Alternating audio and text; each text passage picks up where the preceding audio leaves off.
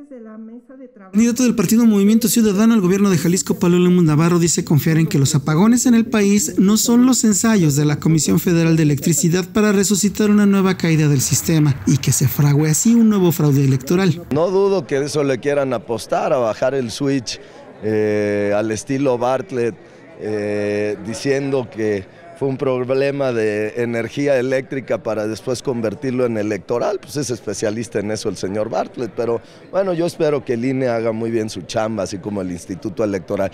Tenemos que fortalecer a nuestras instituciones electorales y no debilitarlas como quiere Morena, ¿no? Morena quiere desaparecer al INE, por eso Morena en Jalisco ya habla de fraude electoral, habla de parcialidad de las eh, instituciones electorales. Cuando hablan de eso, es hablar simple y sencillamente de la derrota que viene para Morena en Jalisco.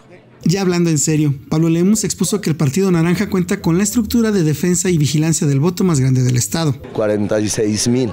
Somos los únicos que ya tenemos, el único partido político que tenemos ya eh, garantizada nuestra representación en todas las casillas de los 125 municipios del estado de Jalisco. O sea, esto es una gran, gran noticia para nosotros porque van a ser quienes van a cuidar de nuestro voto. El candidato bromeó en alusión al titular de la paraestatal Manuel Bartlett Díaz, organizador de las elecciones presidenciales de 1988. En ese entonces era el secretario de Gobernación y el sistema de cómputo que se utilizó para la contabilidad de los votos sufrió un problema. Los resultados de la votación debieron ser presentados a las 19 horas de ese 6 de julio, pero los resultados no llegaron hasta una semana después. El sistema que se cayó costó cerca de 17 millones de dólares de ese tiempo. Para Jalisco TV Noticias, Juan Carlos Huerta Vázquez.